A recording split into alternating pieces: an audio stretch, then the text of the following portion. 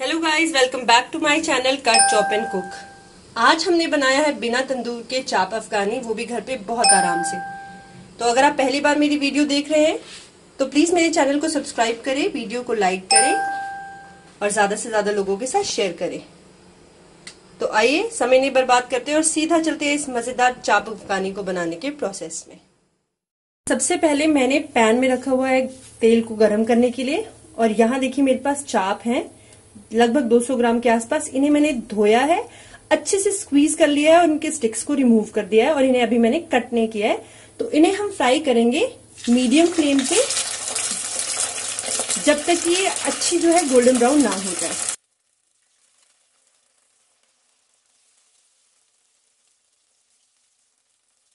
हमारी चाप फ्राई हो रही है, तब तक हम मैरिनेशन प्रिपेयर करेंगे। देखिए, यहाँ ले लें आप एक बोल अब इसमें सबसे पहले मैं ऐड करूँगी लगभग आधे कप से थोड़ा सा कम दही, क्योंकि चाप जो है मैंने थोड़ी कम ली है। आपको ये हंकर्ड नहीं यूज़ करना है। आपको नॉर्मल जो रनी, आपका दही होता है, उसे ही यूज़ करना है। देखिए, यहाँ पे मैंने हाफ़ कप से थोड़ा सा कम जो है काजू और हरी मिर्च का पेस्ट बना के रखा हुआ है। हरी मिर्च मैंने अपने स्वाद अनुसार डाले, आप भी उसी अकॉर्डिंग डाल सकते हैं। इसके बाद मैं इसमें ऐड करूँगी लगभग ढाई टेबल स्पून फ्रेश क्रीम। साथ में इसमें जाएगा अदरक और लहसुन का पेस्ट। और इसमें अब हम डालेंगे लगभग आधा टेबल स्पून मस्टर्ड ऑयल। तो अब पहले हम इसे अच्छे से मिक्स कर लेंगे।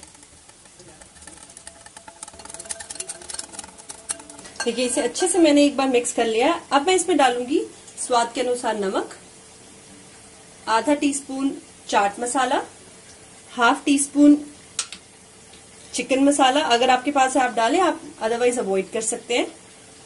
Half teaspoon garam masala one fourth teaspoon black pepper one teaspoon धनिया पाउडर और ये लगभग एक टीस्पून के आसपास कसूरी मेथी, और इसे भी अब अच्छे से हम एक बार मिक्स करेंगे।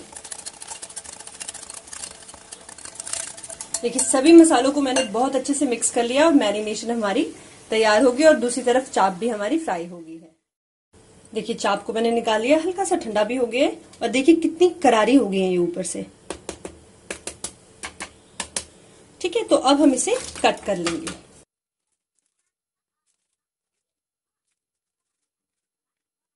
टेक्सचर अंदर से पूरी खुल गई है और ऊपर से एकदम क्रिस्प हो गई है। इसे काट के फ्राई इसीलिए नहीं किया कि अगर काट के मैं फ्राई करती तो कॉर्नर्स भी इसके क्रिस्प हो जाते तो मैरिनेशन इसके अंदर जाने में बहुत ज़्यादा टाइम लगाती और शायद जाती ना। तो क्या है, अब कॉर्नर्स जो है, उससे मैरिनेशन अंदर जाएगी और ये ऊपर बिल्कुल एकदम क्रिस्प इसकी सरफेस रहेगी। तो सारी चाप को पहले आपको काटना है। देखिए, चाप को मैंने अच्छे से कट कर लिया है। मैरिनेशन में अब मैं इसे ऐड कर दूँगी।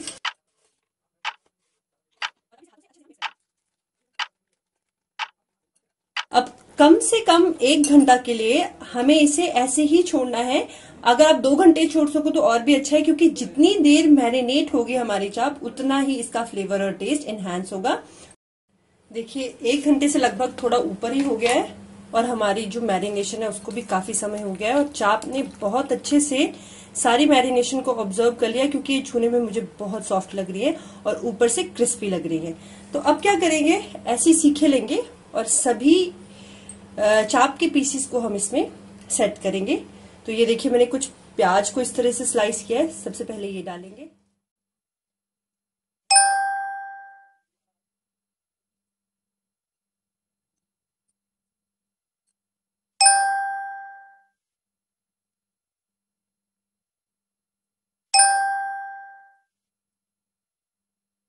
देखिए, ये कुछ इस तरह से तैयार हो गई है। अगर आपके पास शिमला मिर्च है तो आप वो भी लगा सकते हैं। उससे भी एक अच्छा सा फ्लेवर आ जाता है बीच में जब हम चाप खाएँगे। तो अब हमें इसे तंदूर हमारे पास है नहीं तो गैस पे हम इसे थोड़ा सा चार्ड करेंगे। मतलब इसके ऊपर थोड़े जले जले से निशान आएँगे, उतना हमें इसे मीडियम फ्लेम पे थोड़ा सा पकाना है। देखिए, मैंने फ्लेम को ऑन कर लिया है और एक प्लेट आप नीचे रख दें। ये देखिए, यहाँ पे मैंने रखी हुई है। क्योंकि जब हम इसे चार्ट करेंगे तो अगर बटर और कुछ लिक्विड गिरता है तो वो नीचे प्लेट में इकट्ठा हो जाएगा। तो अब हम इस तरह से इसे मीडियम फ्लेम पे चार्ट करेंगे घुमा घुमा के ताकि इस पे इस तरह की स्पॉट्स जो है हर जगह अपियर हो जाए।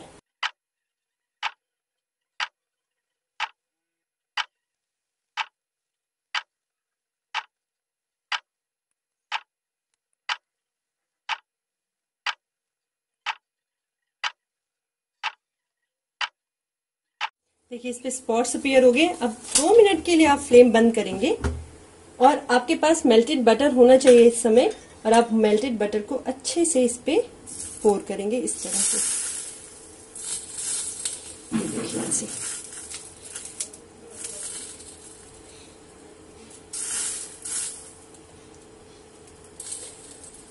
बस पोर करने के बाद हम फिर से फ्लेम को ऑन करेंगे और थोड़ी देर इसे फिर से ऐसे ही पकाएँगे।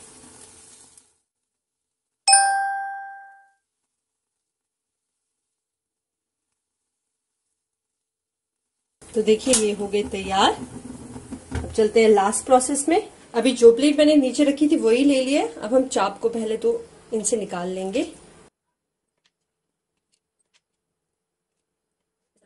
अब इसमें ऐड करेंगे कम से कम दो से तीन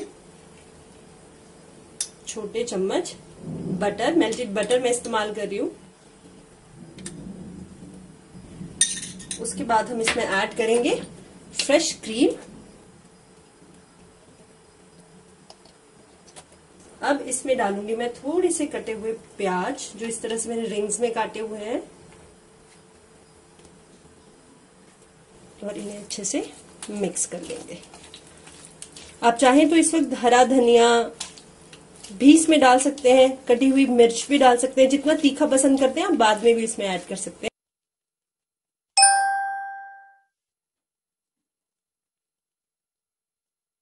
तो ये देखिए, अब हम इसे करेंगे सर्व